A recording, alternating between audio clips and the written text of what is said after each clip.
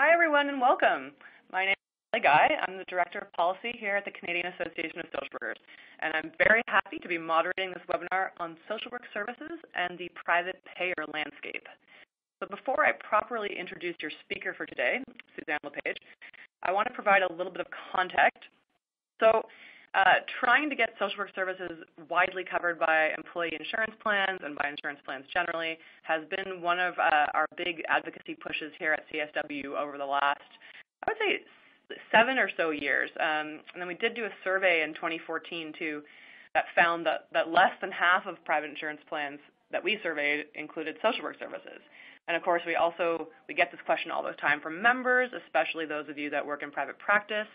So we decided to ask Suzanne to, prevent, to present for us. Um, we're really excited that she agreed to put this presentation together and to really bring us up to date on the issue and what the landscape is like in Canada right now.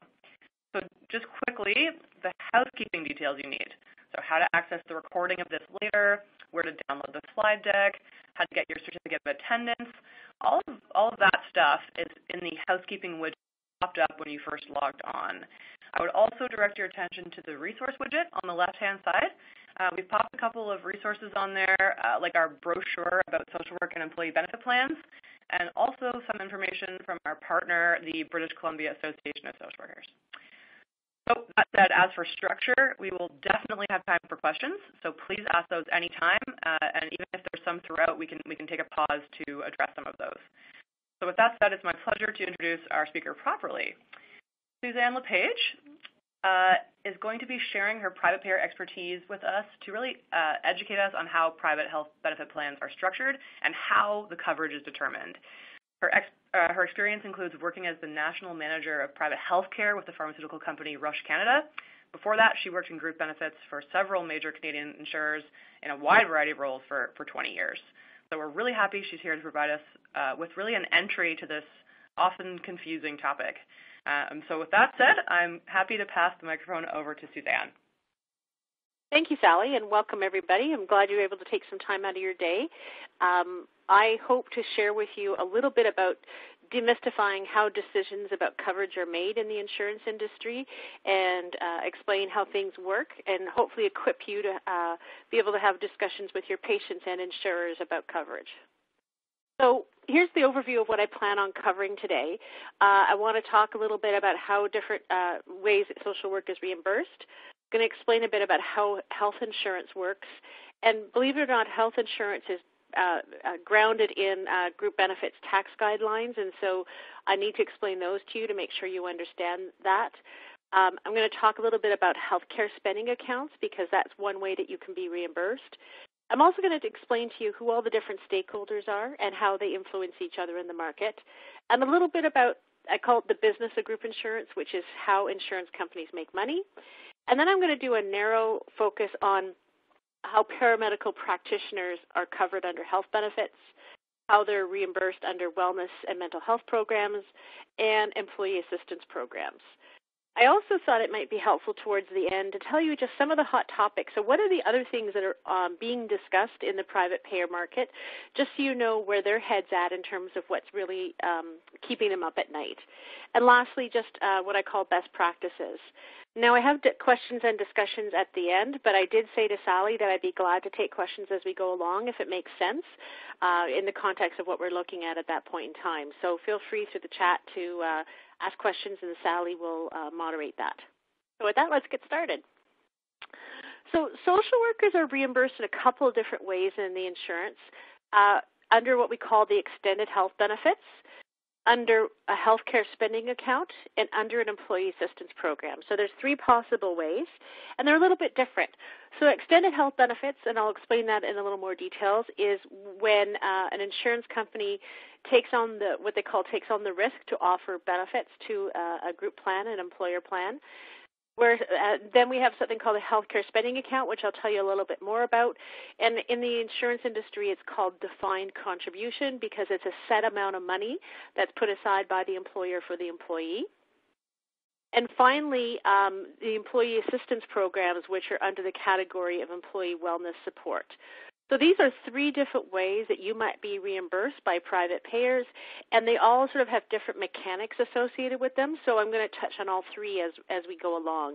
But it's really important to understand that because uh, when you're talking with a patient or you're talking about reimbursement, there's many different ways that this can happen.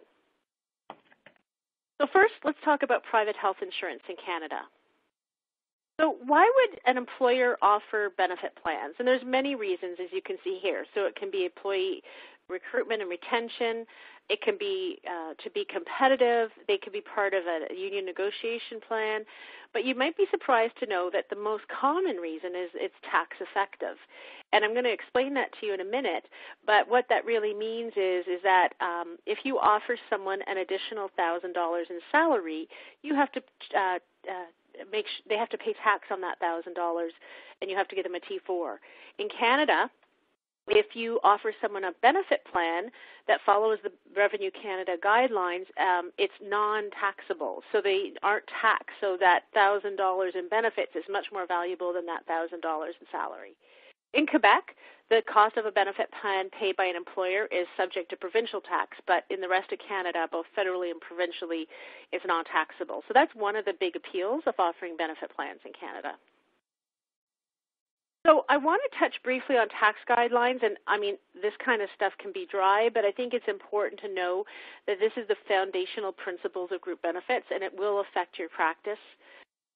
So um, when a group benefit plan follows uh, CRA rules, that's Canada Revenue Agency rules, they have to follow rules for, there's two things, and I'm going to cover both of them, a private health services plan and the medical expense tax credit. And the employer pays for the employee benefits. The amount paid by the employer is a tax deduction to the employer's business, and except for Quebec, the employees don't have to pay tax. And so it does. Um, if these guidelines are not followed, the employer's contribution wouldn't qualify for the tax deduction, and the employees would have to be t- uh, taxed. And what that means is, it's not if if if they're offside at even one of the claims that they pay, it could um, put the whole plan offside. So if they happen to pay uh, for one um, expense that did not match those guidelines, uh, the, the whole plan could be taxable. So that's one of the reasons uh, insurance companies have to ensure that they're compliant, and plan sponsors look to their insurance companies to make sure they're compliant. An example where someone might not be compliant is when it would be a practitioner that doesn't meet Revenue Canada guidelines, and I'll go over that in a, in a slide or two. So a private health services plan under the Canada Revenue Agency is is um, it's actually a, it's part of an act, and it basically says that uh, contributions that are made by an employer to a benefit plan are excluded from their income. And the other thing is is that the coverage that is um, is, is there has to be uh, otherwise qualified under the medical expense tax credit on your personal tax return. And when it comes to uh, the medical expense tax credit, um, uh, what they say is that a medical practitioner is a healthcare professional authorized by law to practice as a medical practitioner. And the medical practitioner guidelines vary province by province, so it's quite complex to ensure that everybody that they reimburse is covered. An example of where that would um, be a challenge um, in, uh, is in the province of Quebec, massage therapists don't have the same licensing, so it's a little bit more difficult, for example, to cover massage therapy in Quebec because there isn't uh, licensing as a medical practitioner. So this is all part of the insurance company's compliance to make sure that whoever they're paying for meets these criteria to make sure that the program stays on side under Canada revenue guidelines. So when we one of the ways that pay, uh, patients can pay for their expenses is under a healthcare spending account. Um, a healthcare spending account is an employer-funded account. The amount that's in the account is determined by the employer. So sometimes they put in a fixed amount by employee class. So they might say salaried employees get $500 a year and unionized employees get uh, 600 a year. Uh, they might do it a monthly deposit, an annual deposit. You might also have employees um, that have something called a flex benefit plan where they can pick from a few choices and uh, they get a budget in which they can spend um, and, and uh, they get to choose how much money goes into their healthcare spending account. Um, it can be used to reimburse medical and dental expenses um, that are determined by that Canada Revenue Agency guideline. Uh, employees cannot make their own deposits. That's one of the requirements for it to be an eligible healthcare spending account. It has to come from the employer. And any benefits that are paid under that healthcare spending account, again, are non taxable. So the advantages of a healthcare spending account for an employer is that they can uh, reimburse health-related expenses with pre-tax dollars. They can cover a wide range of medical and dental benefits that might not be covered under a traditional health and benefit plan. Um, it also allows, if you have a dependent that's eligible uh, under Canada Revenue Agency as a dependent. So sometimes we see that with a handicapped uh, sibling, adult sibling, or we might see a grandmother that's financially dependent. She might be eligible. And then the, the most attractive option is that employees can choose how to use the deposits in their account. In order for the healthcare spending account to comply, comply, with CRA, they have to do a couple things. They have to be structured like a private health services plan have a medical expense tax credit. And there has to be something called an element of risk. And so that means that um, there has to be, uh, they call it the use it or lose it guideline. So what happens is, is you can either carry forward unused credits from one year to the next, or you can carry forward unpaid expenses from one year to the next. And an unpaid expense would be you had a an expense from 2017 and uh, you didn't have any money in your account left over, you can bring it forward to 2018. But you can't do both. And the unused funds, if they're not used for a medical expense, they're re- returned to the employer. So these are all the guidelines that have to be followed. You don't need to worry about this, you know, as you bill your clients, but uh, but what it helps you understand is some of the rules of engagement as it relates to the money that might be available to them. So again, if any of these guidelines are not followed, uh, it cannot be, it won't be a tax deduction for the employer, and the employees will have to pay taxes. So again, it's up to the uh, insurance company or administrator who's managing the plan to make sure that all these guidelines are followed. You may have also heard something called a taxable spending account, and in reality, it's for everything else. So everything that's not eligible under the medical expense tax credit uh, that can be covered. So, gym membership, weight loss programs, all these things that don't qualify under the Revenue Canada guidelines would be um, covered. It's not as regulated, and the benefits or deposits become a taxable benefit. So they could use these dollars in a taxable spending account for services with you, but they also can be used for anything else.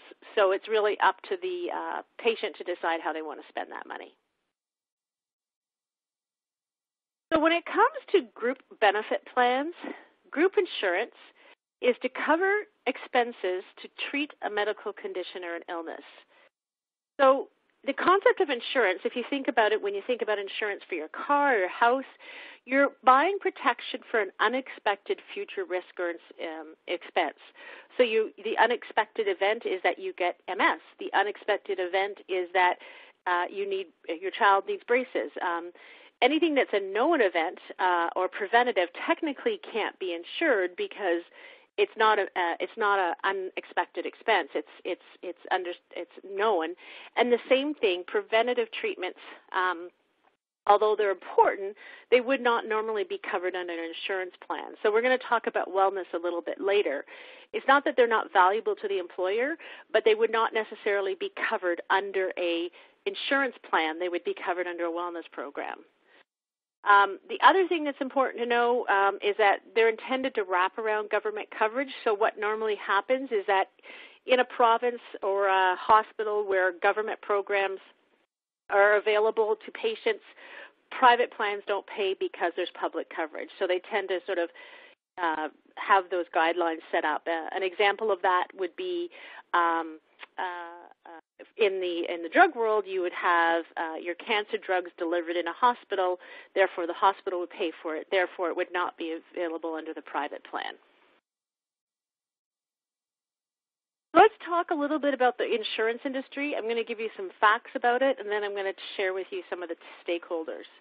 So this information comes from the Life and Health Insurance Association. Uh, this is facts about their industry. So it talks a little bit about uh, health benefit premiums that were paid in 2017 was close to $41 billion. And according to their statistics, 80% of working Canadians have some kind of benefit coverage. Uh, when they split out um, uh, how many people are covered, 25 million Canadians have some kind of extended health coverage. When we look at extended health, uh, the benefits, the claims they paid out equaled 32.5 billion in 2017, and as you can see, um, under the paramedical and vision, three billion dollars were paid out in paramedical claims, which is where social workers fall. So, who are the stakeholders in the industry, and how do they interact with each other? So, the first thing that, if you leave with nothing else today, it's important to know that the plan sponsor, which is what the insurance calls them, the per, the group or the person that pays for the benefits is the decision maker. Um, they're called a plan sponsor. They're often an employer, but sometimes they can be an association plan. Sometimes they can be like a multi-employer trust, where you might have like the auto workers that come together as multi-employer trust. And they are the decision maker, so they decide what benefits they want to offer, how much they can afford, and they design the benefit plan and we'll talk a little bit about different benefit plan designs. Uh, they typically um, uh, are concerned about the plan members that are their employees, so uh, they'll compare their benefit plan to other employers in a similar industry. So, for example, you'll see um, uh, law firms comparing themselves to other law firms, you wouldn't necessarily see a law firm comparing their benefits to an auto worker organization. So they tend to sort of make sure that they're competitive.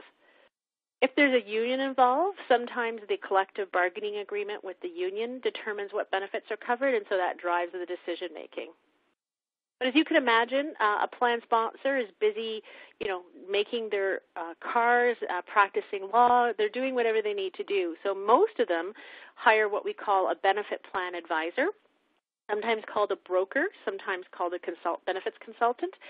And really, they're uh, an independent advisor that uh, acts much like your financial planner or your um, your, your insurance broker for your car or your house, and they provide advice and counsel to plan sponsors about their benefit plan. They are selected, so they compete against each other to be the uh, advisor of choice for the employer, and they really are the guide. They help them determine, you know, what kind of benefits should I consider, what are my uh, what are my competitors doing, how much can I afford. They'll um, shop around, so to speak, to find out what the different insurers would charge them and really are their trusted advisor in this world of benefits because they're focused on doing their core business, and so they look to an advisor to be their uh, their expert, so to speak. Um, the plan advisors work uh, to facilitate insurance with the insurers, and so they might send a quote out, uh, request for quotation. So they'll say, "Here's the benefit plan design that employer ABC wants." They may send it to three or four uh, insurers to get a quote, and and help the plan sponsor choose the insurance company that they would like to work with. In your world, you may also run across something called a health benefit manager. And what they are is they actually act as a conduit to allow direct billing uh, between um, the practitioner and the insurance company. And uh, some platforms for that are TELUS, uh, and Manulife, uh, Express Scripts Canada, where they um, uh, they facilitate real-time, what we call real-time adjudication of claims. It's very common with chiropractors and uh, vision care and um, uh, uh, massage therapy, for example, where they can do real-time adjudication. So these are all the stakeholders, and so definitely it's important to know these as we move forward because they all influence, as you can imagine, uh, the coverage that's available. So I'm going to talk briefly about the business of group insurance. And that's really just helping you understand how the insurance companies make decisions and what drives their their um, their business.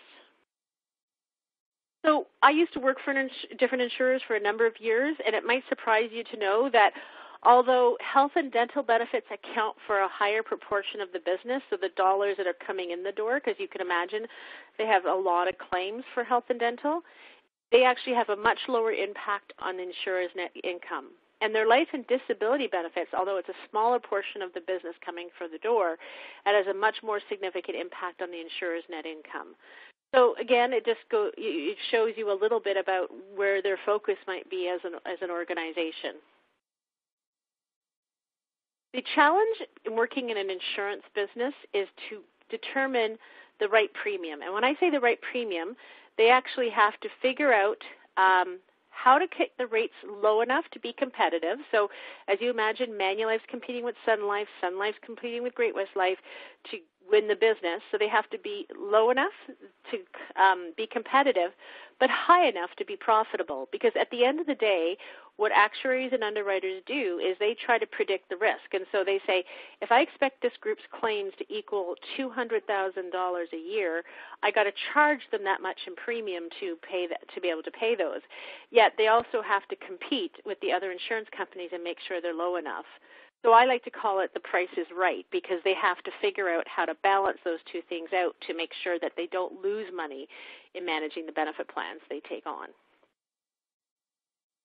When you think about the plan sponsor, um, the challenge with them is the benefit of access to treatments is whether it be drugs or paramedical or anything else is very abstract because it's reduced to a line item in an annual renewal report uh, because of privacy regulations, they don't know who's claiming, and more importantly, how they're benefiting from the treatment they receive. So, whether again it's a practitioner, whether it's um, uh, counseling, whether it's uh, drugs, is that they know that they're paying for these because they, they have a, a line item cost that comes through, but there's no one to tell them that you know we were able to um, you know prevent lost work days or make sure they're more productive or avoided a disability because none of that information is made available to them. And then unfortunately, the plan member, the person who's benefiting from the benefits, is really often very reluctant to share their diagnosis or the benefit of their treatment with their employer. They don't want them to know, hey, I'm the one with the issues. I'm the one who's costing you money because they're afraid that that could work against them. So unfortunately, um, it, for the plan sponsor, it really is an abstract concept. So I'm going to now talk about how paramedical practitioners fit, in with the health benefits. But Sally, I'm just going to pause to see if you have any questions so far before I move on. Yeah, so we we have a couple that I think might be addressed later that are more about how they're more about how as social workers we can advocate to have our services be understood as uh, you know needed and as relevant to psychology, for instance, um, sure. and how to make yeah, sure that will. insurance providers and employers know that. Yeah, so yeah, we will get to that. So thanks. We'll hold off on those ones. Okay, yeah, yeah. I thought so maybe. Yeah. Okay. Okay, great. So now I'm going to take a, a focus on paramedical practitioners. And um, the first thing to note is that there's some, I want to, where I possible, I try to share research or, or commentary that comes right from this insurance industry. And a new report uh, that came out yesterday I thought was very interesting. Uh, it's told us that although plan sponsors estimate that 29% of their workforce has a chronic disease, in actual fact, 58% of the plan members report that they've been told they have a chronic disease. So there's a huge gap in understanding uh, the, the health of their workforce. When they were surveyed and asked for their, their what chronic condition they have in order of um, in terms of numbers, the second most common chronic condition that they had was something related to mental illness. So it could be such as depression or anxiety. And uh, those uh, that were um, interviewed and for the survey said that if they had a mental illness, 72% indicated that it negatively impacted or affected their work. Um, I was the actual cost of a benefit plan is private between an employer and the insurance company, but I did ask some benefit plan advisors that I know, and they gave me a couple of examples of some clients they had. And what they said is that when you look at the total dollars that they spend on their benefits, 40% or 39% was spended, spent on the extended health benefit. And when we looked at the breakdown, drugs was the most, the biggest part of that pie.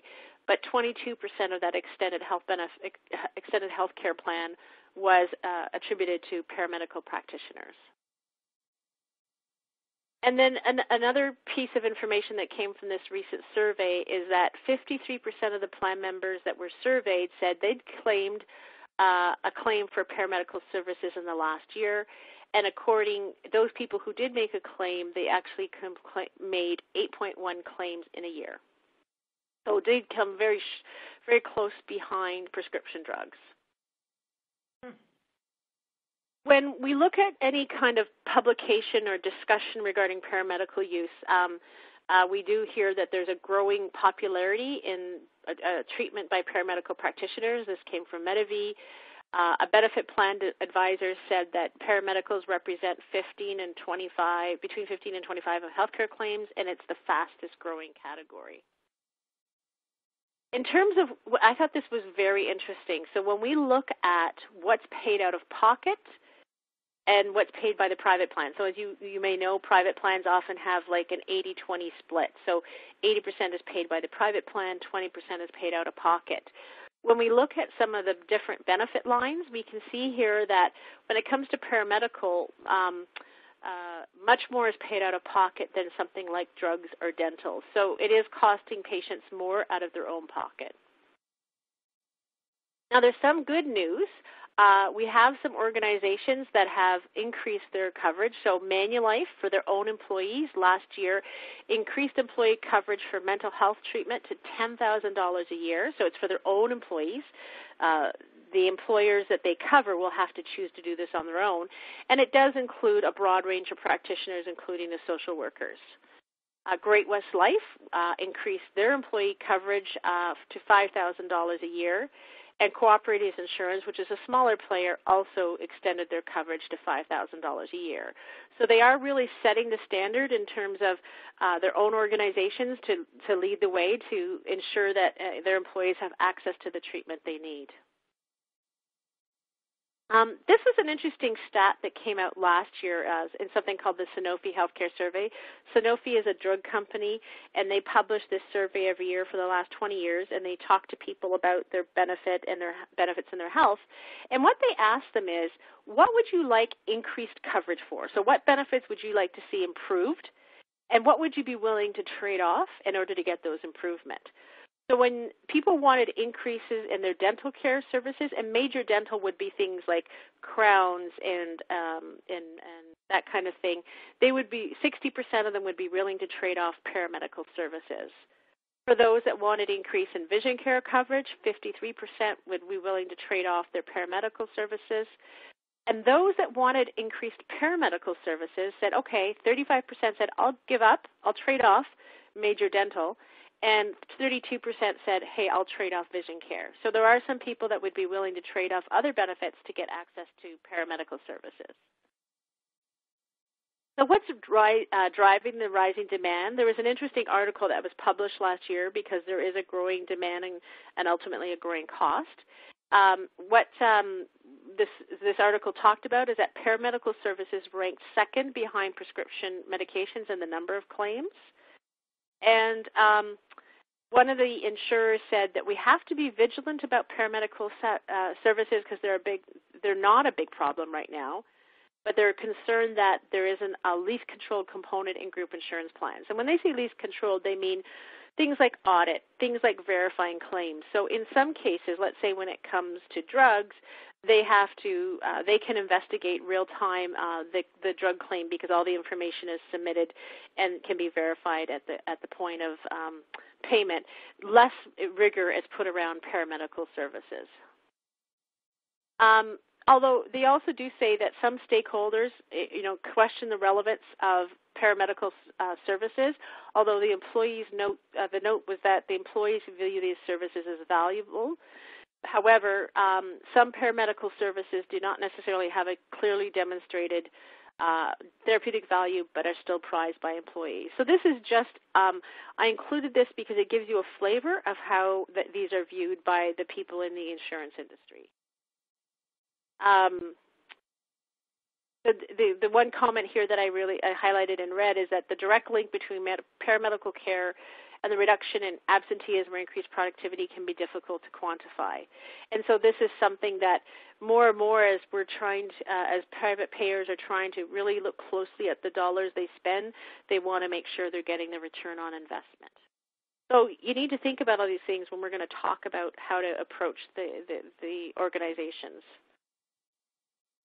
Um, many employers struggle with the category of paramedical, especially if they face large increases year after year. And so then again, this talked a little bit about why the interest in paramedicals is growing. And so this is just some examples of why interest in the overall paramedicals field is growing. And again, this highlights the, the thing that uh, is that the individual decision about including or excluding and how much is a decision that's made. And I'll explain how that works a little bit uh, when I get further into my presentation. Oh, it's right here. Sorry about that. So the practitioner design can be um, set up in such a way that it's either per certificate or for, for uh, the insured. So in the example in the picture I showed below, that family that's there below represent one certificate. So one of those parents works for the employer. So that's one certificate. And then, but under that certificate, there are five people insured the mother, the father, and the three children. So the plan design could be set up as per certificate per practitioner. So they could say, for the certificate, we allow $500 per practitioner in a year. You could also have per insured, so each family member gets $500 per practitioner per year. So that would mean $5 for chiropractic, 500 for chiropractic, 500 for social work, 500 for physio. So it breaks down that way. What's more common um, would be uh, per certificate or per insured where all practitioners are combined. So they might say, we offer $500 for all the paramedical practitioners, and the employee gets to choose how they spend those dollars. So they could do them all in massage, they can do them all in physio, they can do them all in social work or psychology, but it's up to them to use the money as they see fit. And then sometimes what they have is they have built in where they'll say, we'll pay $50 towards a visit. And so the idea is that then they would expect the employee to pay the difference. So those are some of the more common plan designs. And what happens is when an insurance company gets the request from the benefit plan advisor for to quote on the benefits, nine times out of ten, that decision has already been made. So it's almost like an order. They say, I'm ordering up a design that looks like this, and the insurance company comes up with the rate. And so um, although a lot of us think that the insurance companies decide coverage, they're very much almost like a grocery store where they have all the different coverage options on their shelf, and the advisor on behalf of the employer comes in and says, This is what I want you to quote on. And so uh, that's why you'll see a wide variety of coverage between um, different um, um, different people. So just because you had a patient with Green Shield in the morning who had a certain type of coverage and you have a Green Shield patient in the afternoon, their coverage can be, be completely different. And that's not because Green Shield is different, it's because each employer has designed the plan that meets their needs. And so um, this, these are the options that they have chosen. Now, there's something else that you need to be aware of when it comes to billing, and this is something called reasonable and customary fees. And what this happens happens with everything from um, dentists, and it comes with vision, and it comes with all different types of pharmacists, is that um, they try to come up with a range of fees that's reasonable and customary in each province. And so they try to come up, if there's a fee guide, they'll look at the fee guide. If not, they'll look at what sort of the middle ground in terms of the fees in that province. And um, they'll use these to determine um, how they price the benefit plan and how they will pay claims. Most time the expenses that are claimed fall within this reasonable customary fee range, but if they charge more, the plan member is uh, uh, responsible for the cost. So I'll try. I have an example here. So let's say here um, this amount in this green bar represents what you as a practitioner would bill uh, the patient or the insurance company for the services what they'll do is they'll compare what you've billed to what they consider as reasonable and customary or R&C in the province in which you operate. And in this particular example, you can see there's a small portion that uh, is not that is over and above the reasonable and customary amount. And then on top of that, then you actually have what I call the plan design, where it says, okay, we will pay up to 80% of what's reasonable and customary. And so what could happen is is that you have a portion of the cost that is not payable by the plan, a portion that's what we call the copay that the patient has to pay, and we also have a portion that was over and above the reasonable and customary amount. Um, an example I can give you that that that I can relate to is um, if I go to my local physiotherapy, uh, my local uh, massage therapy clinic. I live in Ontario. Uh, they charge me, let's say, seventy dollars for a massage, and that falls within the reasonable customary. If I'm away with a friend and we're at a at a, a hotel which has a spa, they also have licensed uh, massage therapists, but instead of charging seventy dollars for a massage, they might charge one hundred and twenty. I'm still only allowed 70, and then I would have to make up that difference out of my pocket. And so those are built into the plans to make sure that what's being charged is reasonable for that plan and helps protect the plan sponsor's benefit costs. Now, I also mentioned that there is uh, wellness and mental health coverage that includes coverage sometimes for social workers. So the first thing is is that um, 49% of plan sponsors with wellness programs say that they offer training to help managers recognize and respond to signs of depression or other mental illness in the workplace. And so sometimes this is called mental health first aid. Uh, it's a specialized type of training, and that came out of the recent uh, Sanofi survey. Um, the other thing that came out of this survey is that when they look at how they're spending their wellness dollars, what we can see there is out of the wellness dollars, 24% of those wellness dollars uh, are resources, uh, 24% go towards emotional and mental health.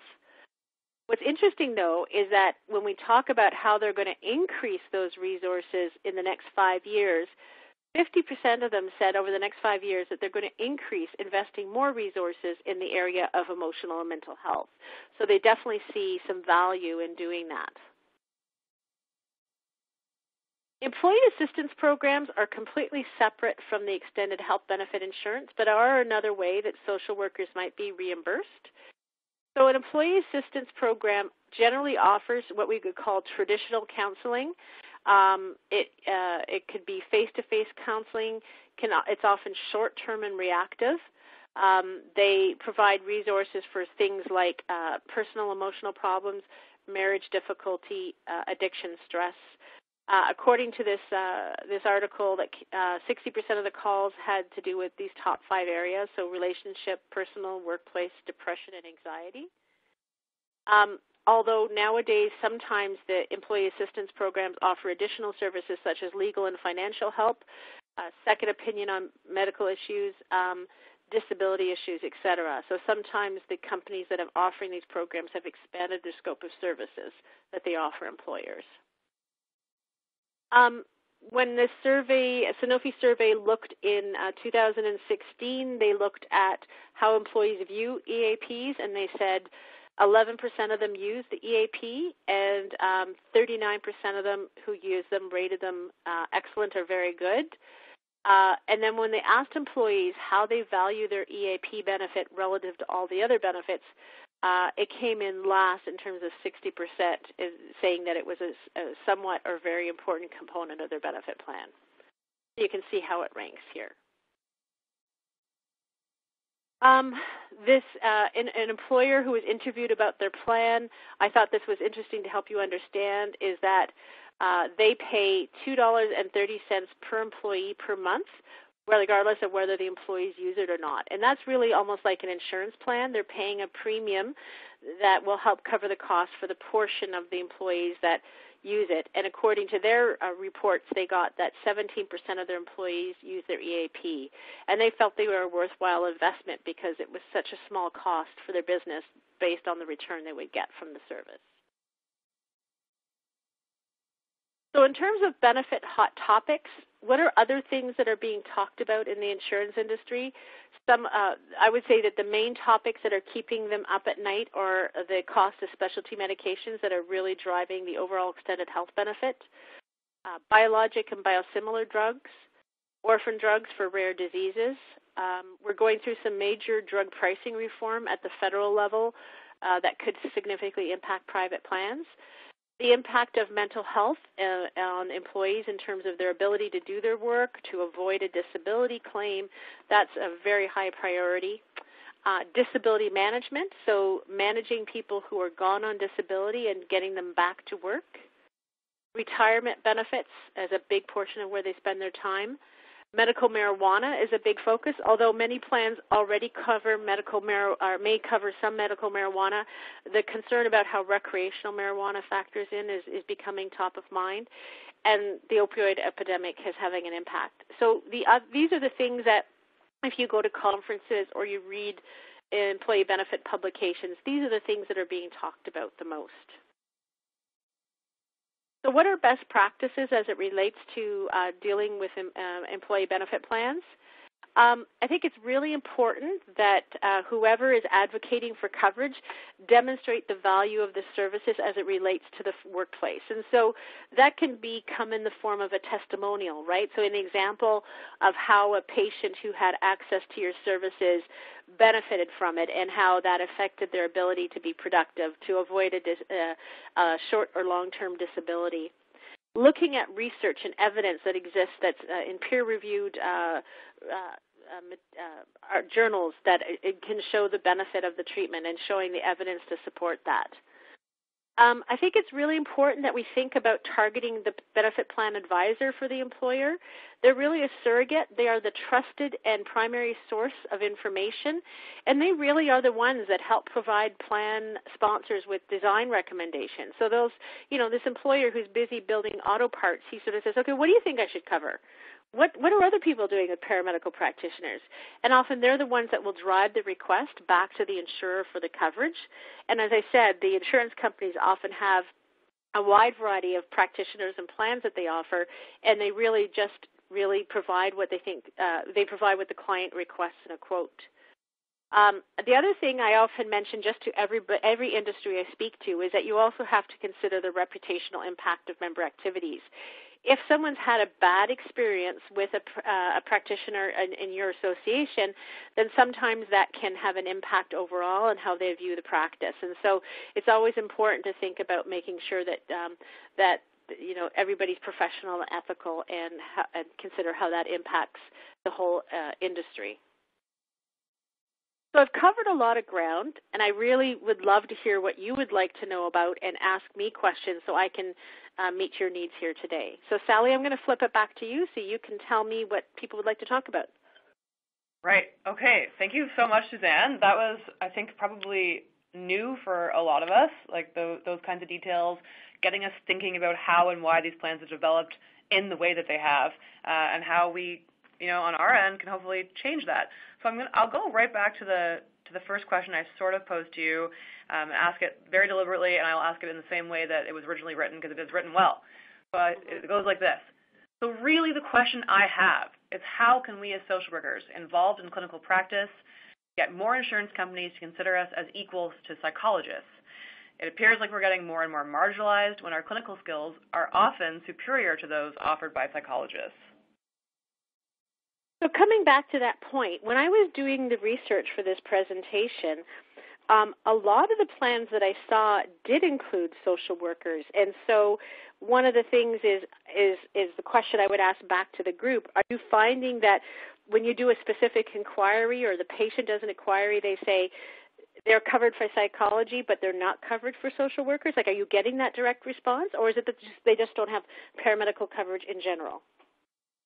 I, th- I mean, I, without looking at what the audience isn't saying anything about that right now, but yeah. our experience here at CSW, obviously we field a lot of calls from people, and it could be kind of like a confirmation bias thing where um, the people that call in to ask for help on this are the ones that are finding their clients aren't covered, and the ones mm-hmm. that you know their clients do have coverage, they're not calling us to to ask for help, right?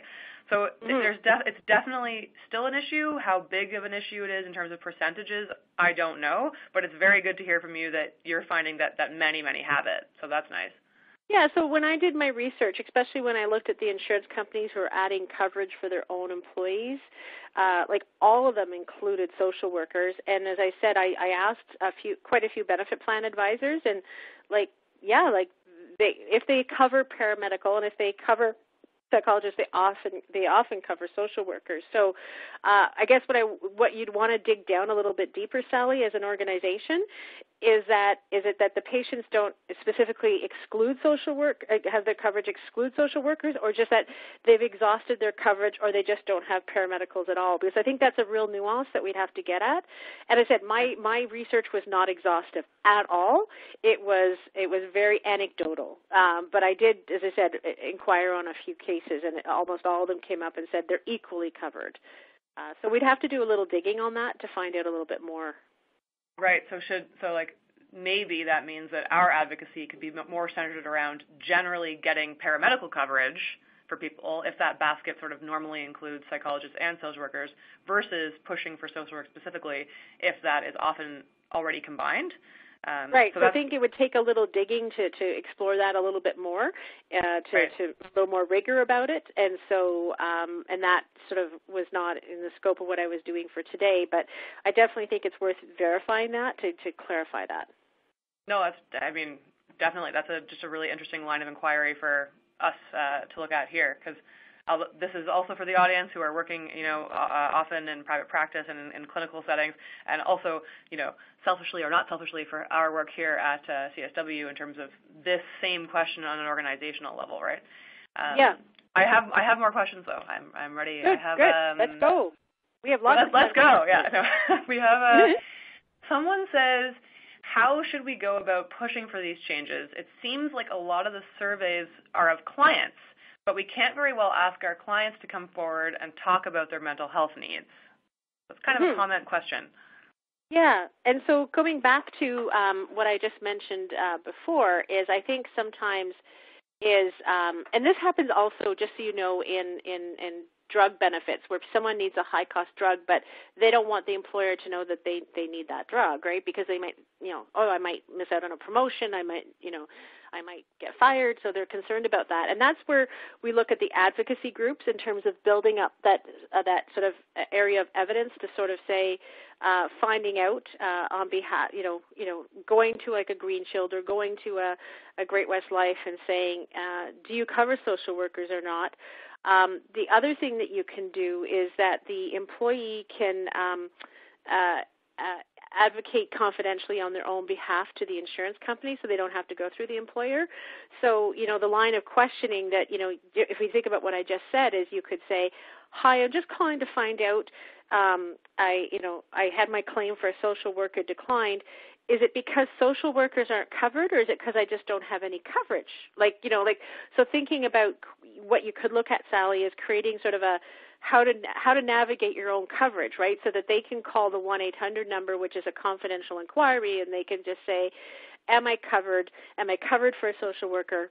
And trying to determine just that: is it because social workers are excluded, or they've maxed out on their benefit, or they just don't have paramedicals at all? So there's sort of a, a triage that they can do uh, to figure out for themselves without having to involve their employer. Right. I don't know if that well, addresses that's, that's the question, Sally, but I think be, that does a way that we that we move forward here at CSW. Yeah, I've seen um, some. Sorry, I was just going to say I've seen some other um, uh, uh, advocacy organizations do that, like creating a little pamphlet or something, understanding your insurance. What questions should you ask? Those kinds of things. Right. Yeah, like uh, client targeted versus. So what we've been doing. So um, our advocacy on this, like organizationally at the Canadian Association of Social Workers, has been employer driven. So by that I mean we have pamphlets and brochures for employers to mm-hmm. explain to them our value um, mm-hmm. and sort of asking them or, you know, making them aware of, of our value so that they just decide to add those services to their employee benefit plans to, you know, attract and retain employees. So with what you know, is that it, like so uh, I guess I'm hearing that we need maybe a three-pronged approach. So maybe we keep doing that, and then we also create a toolkit for the clients themselves to help understand better. Sure, I think so. And then the other target could be the benefit plan advisors rather than the plan sponsors because there's so many plan sponsors and so many of them are involved day in and day out in their production. So I, I, I did an advisory board with plan advisors last week, and one of the things they said is that they they only get to visit their clients twice a year, but they they have to cover everything in that in those discussions about the benefit plan. So I think it would be hard necessarily for you to target plan sponsors, but the advisors, because they're trusted, they are the ones that can they can communicate the value. So if you could if you can communicate to the plan advisors that there's value in social work, then they can advocate to make sure that those employers add them. So that's another way of reaching them is is sharing with them the value of the um, of, of adding social work. But again, I think there maybe, uh, as I said, coming back a few steps, like I mentioned before, is determining first of all that there is indeed, you know, lack of uh, equity between the two, and determining that more closely. So that, as I said, is it just that we need more paramedical services, or specifically adding in social work? Right. Yeah. I have um I've got a, I've got a long line of questions here. I'm going to just ask Good, one that's very going. sort of um, just sort of specific. And they're asking, do you find that there's a difference in coverage in terms of a master's of social work versus a bachelor of social work? So whether it's being the services are being offered by a mat, uh, master or bachelor level. And I'm, I, I'll get. Do you know anything about that? Not off the top of my head, no. Okay, I I, I usually see the word the expert, but I think I can maybe answer that. That yeah. as far as everything I've seen in terms of our like, coverage for social work services, it's just been delineated registered social worker. It hasn't said. That's what I've seen too. You took the words right out of my mouth. It just says registered social worker. So if you're licensed in the province and considered right. a licensed practitioner, then you're covered. But I don't know for sure, so I don't want to say 100%. Okay, yeah, yeah, yeah. No, that is um, that's a, I, I just wanted to cover it because I got a few questions about it, but I, that was my impression. Um, next is kind of a philosophical question. If you're if you're ready for that. Okay. Um, it says she says you mentioned that insurance plans don't cover preventative things, and yet preventative care will help reduce costs to the employer, like by avoiding a disability claim. Is there a way we can change this? Is this likely to change? That's the question. So I want to be clear. Under the insurance plan, they don't cover preventative because insurance, it's just like your insurance for your car doesn't pay for oil changes, right? Doesn't mean that oil changes aren't a good investment. It's just insurance is really, you're paying a premium for an unexpected risk. But if you remember later on in my presentation, I talked about employee wellness programs, and I maybe didn't get into that in enough detail. Employers do lots of uh, wellness programs that they do pay for. They're just not covered under the insur- the health insurance because it's it's exactly that. It's preventative. So they might do, um, you know, uh, uh, they might do. Um, I don't want to call it meditation, but they might do, you know, different things in the workplace that they know have value in terms of employees' health, and so they'll pay for them. They're just not at what we call an insurable risk. So they do value, most of them value these pro- different types of programs. It's just uh, when you think about what we call traditional insurance, you can't put a, a price tag on a risk of wellness. Wellness is just an investment, which is just falls in a different line item in terms of how an organization runs their business. Do you think Okay, that no, answers think the that- question, Sally? Clear, I think. Um, Yeah. This is a very practical question, but I think a very important one since we've talked a lot about plan, envir- uh, plan advisors. How do you re- how do we reach plan advisors? Who. Oh, are they? Where know are they? so they're all over the place. So I uh, I know a lot of them because I present at conferences and I write articles and publications that they read. But you know, there are people that are a one man shop, right? Who who's just an independent plan advisor and has 50, 60 clients, and then there's firms that have 50, 60 people working for them in the firm. So um, you know. Uh, they're just people that are in the community and um, and so as I said, if there's different events they go to, there's different publications they read, and they um, and they also are looking for uh, courses and programs where they um, get continuing education credit. So oftentimes they attend events. So you know, if that's something that you wanted to reach as an organization, we could take that offline, and I can tell you different ways that people have events where they can reach it. I'm, for example, doing. Um, you know, total disclosure, I was participating in a study uh, uh, in Canada on obesity in the workplace, and we're presenting the results to an event with 20 to 30 plan advisors next week. So um, they do come out uh, to different things like that, but they it is a challenge to reach them, but it's not as challenging as it is to go call an individual employer. So it's just um, reaching them at a different level. Right. Yeah. No. Like a, a different way of targeting. I mean, that's yeah. Super useful. I think for all of us in the sense that I did not even know that that was a job title that we should be considering for targeting. So that's yeah. very very helpful. Um, this is a question about. Well, I guess I'll just read it. It's um, we have learned in the past that insurance companies don't keep track of how many clients ask for social work coverage when it's not part of the plan. Can is there a way that we could make that change happen that they would be required to keep track of uh, requests?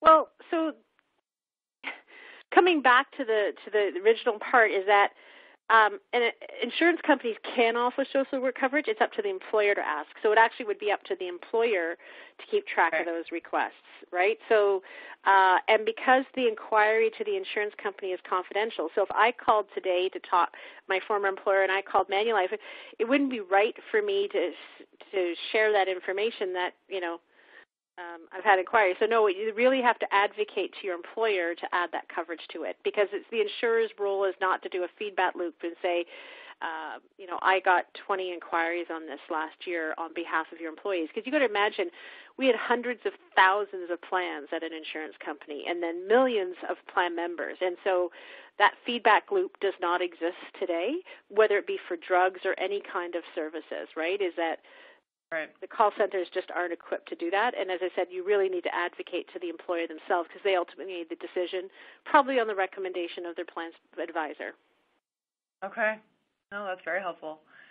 I have um, this is this is British Columbia specific, but I've gotten it's come up four times, so I want to ask it.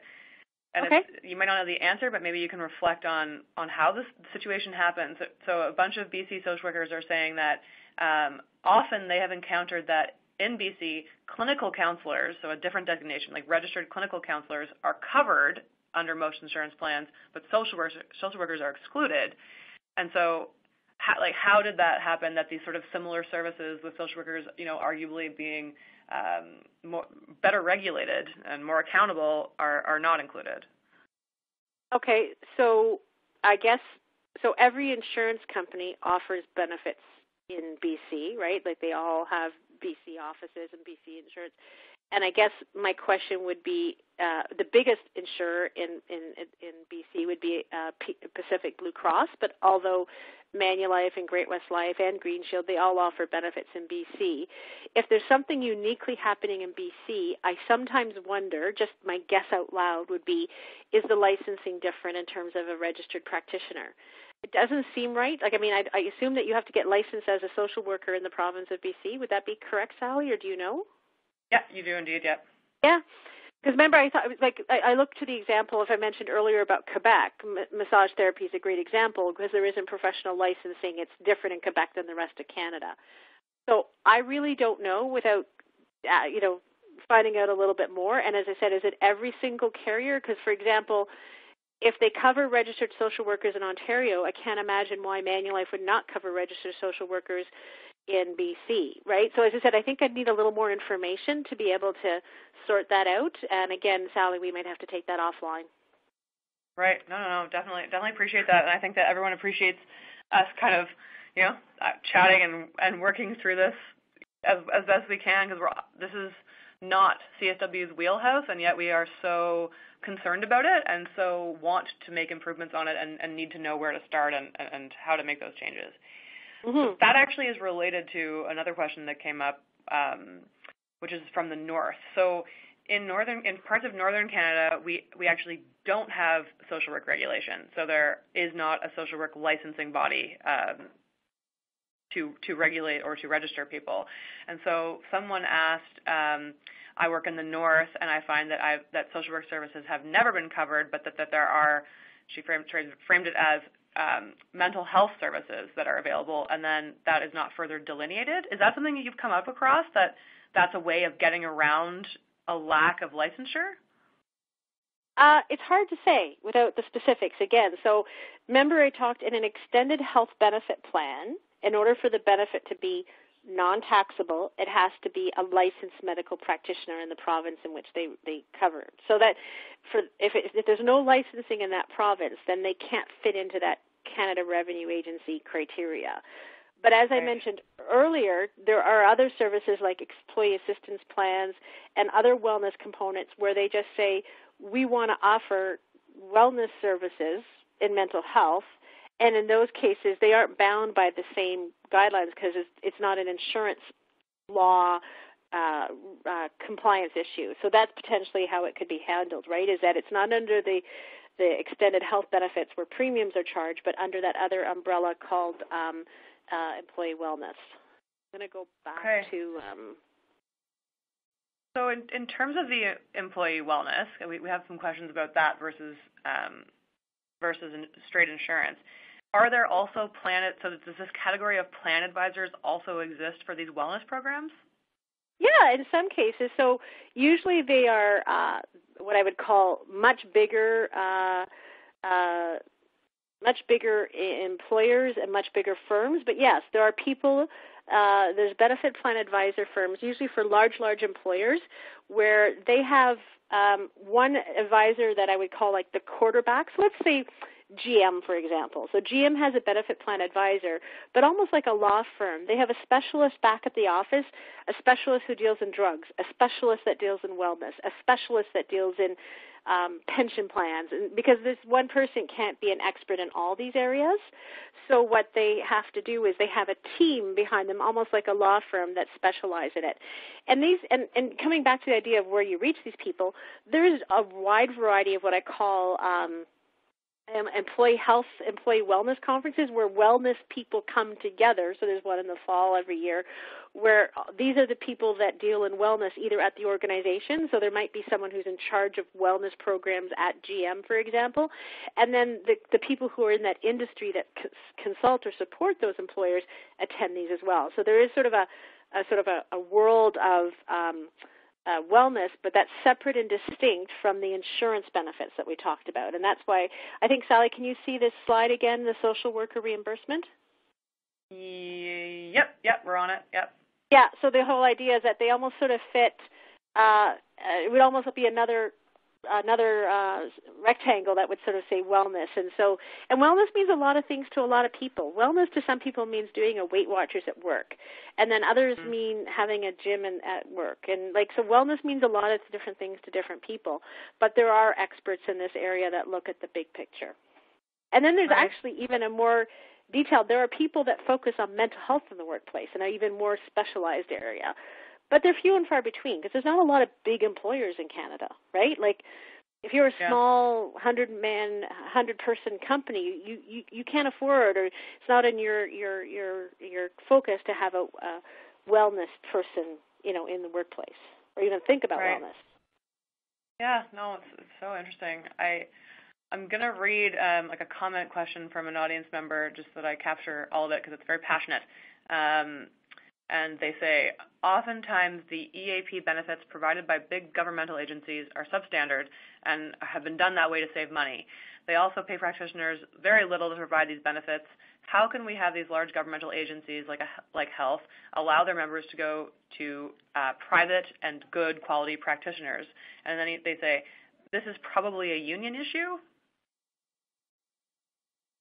So when I don't know of any government agencies that employ offer employee assistance programs.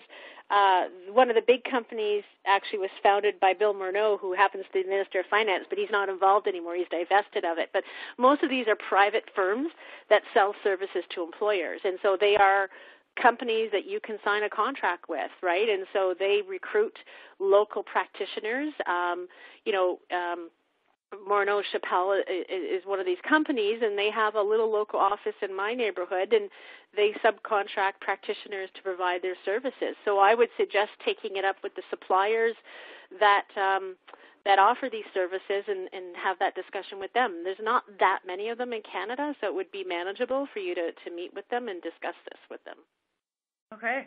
Okay. Um, okay. So I think there's two people who are looking for just for some clarification around some of your sort of advice about how we should go about inspiring these changes, and they're just looking for clarity around the fact that you said um, an option for people is to advocate confidentially to the insurance providers about what we about what they need and that they would want social work. But then you also said that there was no feedback loop. So just looking for maybe we just misunderstood.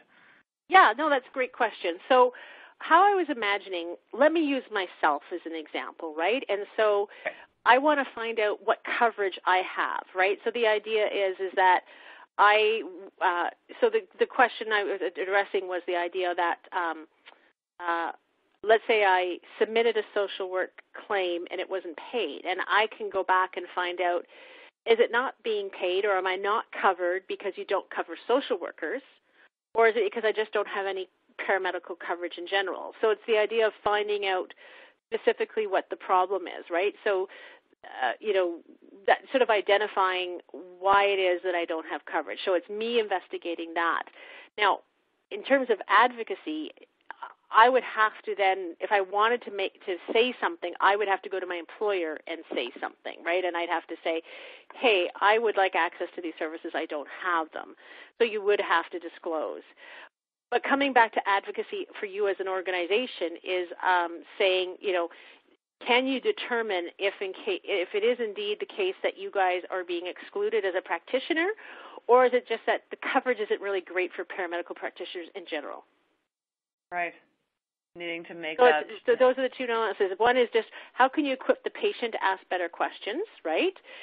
You know, because as I said, some of these paramedical, some don't have paramedical programs at all, or some of them aren't very good, right? They don't cover yeah. a lot. And so, is right. that the problem, or is it the fact that your particular practice is being excluded in those list of, of practitioners? Those are very different questions. Or right. maybe they've used all their money on on uh, massage therapy, and that's why there's no money left. Right. Yeah, no, there's so many potential nuances to why to why and how that's happening. Um, I have a, another question, to, kind of about the, I guess maybe the future of the industry or or the future of the, this sort of landscape, which is that. So, have you seen um, a growth in demand for wellness plans versus straight insurance, or is, is that something that's been happening?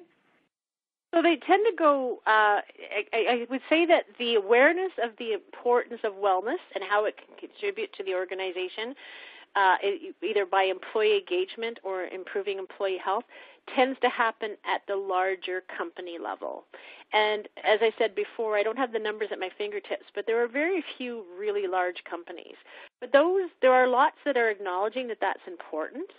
Um, but they're, in general speaking, the, most of the Canadian population works for a small employer who just doesn't have the bandwidth to sort of look at that um, right. as closely as they would like. So, you know, it's not that they're not convinced that wellness is great. Like the owner might, you know, um, play tennis and jog, but the fact that he just, you know, he's only got so much time in his day to sort of look at a wellness program for his employees, right? So, um, I would say there's definitely growing interest of understanding it, but the ability to execute is mm-hmm. is sometimes difficult. Right. Yeah. Yeah. The resources. Yeah. Um, there's um, one other thing. Can I just comment on one other thing, Sally, that came to mind? Is, yes, yes, yes. Again, yeah, this is not an area of my expertise, but there's this movement afoot to have um, psychologically safe workplaces, and right. um, and that's a requirement f- for employers of a certain size. And so I know I've been hearing that talked about a bit. I'm not an expert in that area, but that's something that um, is becoming m- more of a concern. I see people talking about that. Right. Yeah. No. I, I think definitely, um, definitely something that social workers are, are also aware of. Of the, um, with the, all the advocacy that we've had around uh, mental health, and with uh, you know bringing all the campaigns that we've been part of to eliminate stigma, that then along with those kinds of campaigns that are you know um, more social justice focused campaigns that as soon as we start eliminating that stigma, more and more people are going to be coming forward and requiring those services, and we're going to need ways to provide people with those services. So that some of those um, some of those kinds of trends that we're seeing are, are reactions to that. That people are are, are more readily um, seeking and offering help. So that's very interesting. Um, I so this this is a question about choosing your an insurance provider as a small employer. I think, uh, and it's it's two pronged. It's asking, are there Canadian trends in insurance, and is it better to engage a Canadian insurance company? Does that make a difference? Well, it's only Canadian companies that offer insurance in Canada. There are no American companies that offer insurance in Canada. Okay, so no like umbrella kind of organizations like that. In fact, there's some Canadian insurance companies own U.S. affiliates or own, okay. own companies in Asia, et cetera, but there are no American companies that offer insurance in Canada, amazingly enough. It might have to do with legislation, et cetera, but there isn't any that I know of. Right, wow. But I will say that employers typically choose on price. So whoever can give them the benefits they want at the lowest price is who they pick. Right. That's why I come back to that competitiveness between um, um, cost, right, is making sure it's low enough to be competitive and high enough to make a profit. Right. Yeah. No. Always the uh, always kind of the issue that we come up against in in every aspect of our work, be it macro or, or micro. It's always those, those bureaucratic price issues. Well, that that takes that is. I think I asked all of the questions in my queue. So I was, I guess I'm wondering, Suzanne, if there's, is there anything about the way, about the questions that came in that makes you feel that there's a part you should clarify or that you wanted to go into more depth on? Well, I mean, you know, I understand that there might be social workers that aren't covered under certain plans, and I think uh-huh. what as an organization is trying to determine where those exist and, and are they centered in as I said, under certain carriers or certain type of employers. Um, you know, uh, the other thing that I can say that just from um, some personal experience with family members is the long wait times to get mental health services, and especially in, in, in so many different situations, is that I, I mean, I personally see the value of uh, adding additional uh, coverage or access uh, for people. So, um, as I said, really trying to get to the crux of who isn't offering and why. And so if it's specific insurance companies, there's only about 25 insurance companies in Canada. So although it, it wow. is a big task, it's not impossible to tackle and then determining huh. you know if if if that's the case but then they might say oh yeah you, you know employers can choose to add social workers you know it's up to them then creating that sort of uh, awareness to say you know, you can choose this. Why wouldn't you choose this? And, and sort of building the case of why you'd also want to cover social workers as well as other mental health practitioners. So, to me, there's some steps you can take. Um, but yeah. I, you know, again, today was an education piece, not a research piece, right? So we'd have to talk about how you can do that. But it's it's not impossible. It's not like there's thousands of insurers. That's no, that's very very good to know. Um, one thing that's jumping to mind for me is um, is I guess asking our members because this for for us too, like us too, it's um it's anecdotal, right? Like for us too, this mm. this whole camp asking you to do this for us was just based on the fact that we get pretty frequent calls from people asking what they can do and we can tell them sort of basically like you know try to tell the employer why you're valuable download our brochure and, and hand it out when you need to here's some tools to better explain why social work uh, is valuable and should be included in those plans. Um, but something we're not doing is asking anyone to report back in any kind of a formal way or in any way at all on when they encounter a big employer that doesn't have it covered. Right, and again, is it is it because social workers specifically, or as I said, like getting down to that sort of gathering gathering data, right, to understand the problem, right? So I did this once in cancer, right? And so uh, when we actually we actually did it, we actually did through a SurveyMonkey. We kept collecting this, and we sort of said, is it because the patients um, don't have cancer coverage, or is it because this this cancer drug is normally supplied in a hospital? Like, so questions to ask to figure out what the problem really was right? And then we were able to do a summary almost by insurance carrier and say the problem seems to be here at this particular company or this particular situation. So as I said, you can get nuance and you you can um, what do they call it? Crowdsource data from your yeah, membership. Yeah, yeah, yeah, yeah. Big data. No, this is definitely some. This has definitely given uh, me tons of food for thought. in terms of what we can be doing, um, you know, on our organizational level, and, and hopefully too, it's been it's given uh, you know the individual members who are working on the front line, who are in private practice or in, in clinical work, um, some ideas of, of how they can they can better approach and advocate for themselves. And I'll just re- reiterate again too that the, for those of you who may have tapped in late and who missed the first couple minutes of the of the presentation, there are um, there are some resources on the bottom left-hand side of your screen that the brochure that I was talking about uh, that we, whenever we go to any meeting, that's what we hand out with whatever uh, social justice piece we're advocating for too. So that's available for download. There's a great fact sheet from the British Columbia Association of Social Workers that also sort of talks about those issues. Um, and then this is today's slide decks. And I have another, oh, and then some people are just commenting that as I was saying this on the phone, people are now offering me up resources to help. So people are saying BC has data on major employers who don't have social work coverage. So uh, there are definitely this is a uh, obviously this is a great conversation to have had um, to get these kinds of things uh, top of mind and get the resources that we that we need. So thank you mm. so much, Suzanne. I'm glad to be able to help. Yeah. So I guess I, I mean there's no problem with ending um, a couple minutes early, but uh, it, just to sum up, is there anything that's like a that's like so important that it's the it's the take home point that you want to leave us with? Um, I think the take home point is is that um, an insurance company wants to get as many clients as they can, and if uh, if the client says they want social work coverage, they'll provide it. So ultimately, it's really up to the employer if it doesn't exist today to ask for it. And so I think that's the bottom line is is that I don't think anybody would prevent an employer from adding it unless it wasn't a licensed practitioner. So I think that at the end of the day, the coverage is available. It's, it's the employer deciding to know to ask for it and be willing to pay for it. That was right. that's always my take home point is that it, it you know no insurer is going to say oh no you can't add social work. Right, right. It's a it's knowing how to sell ourselves better uh, and who to sell ourselves to, and for that, the piece about the uh, plan advisors I think has been um, invaluable. Uh, and and that that's the work that we need to be doing here at CSW with the help of our partners. So no, this has been awesome in terms of, of education. I think people found it really valuable. Um, and I'm I will uh, I will say a huge thank you to you, Suzanne, and a huge thanks to the audience for how engaged you all were. This is probably one of my most um, engaged webinars that uh, that I've moderated so far, so that's awesome. Um, and we will uh, see you at the next one. Take care.